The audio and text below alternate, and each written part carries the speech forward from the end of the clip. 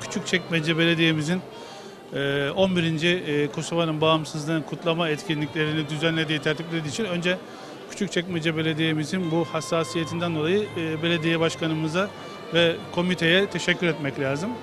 E, 2011 yılında ilk defa kutlamaya başladığımız Küçükçekmece'deki e, demografik yapıya göre Balkanların ağırlıklı olduğu bir e, ilçe burası. E, aynı zamanda dost ve kardeş ülkemiz Kosova.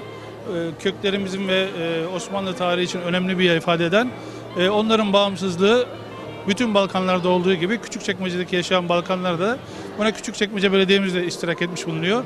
Bizlere düşen görev e, bağımsızlığını kutlayacak, Balkanlara yakışır, Kosovalılara yakışır, Arnavutlara yakışır bir şekilde misafirlerimizi ağırlamak, sanatçılarımızla birlikte bu anlamlı ve çok değerli bir günümüzü bütün halkımızla paylaşmak olacaktır. Ayrıca e, sizler her yerde olduğu gibi ee, yine e, bir Balkan e, faaliyeti olan e, Kosova'nın bağımsızlık kutlama gününde sizler de e, Balkanlar TV olarak bizi yalnız bırakmadınız. E, size ve ekibinize ayrıca teşekkür ediyorum.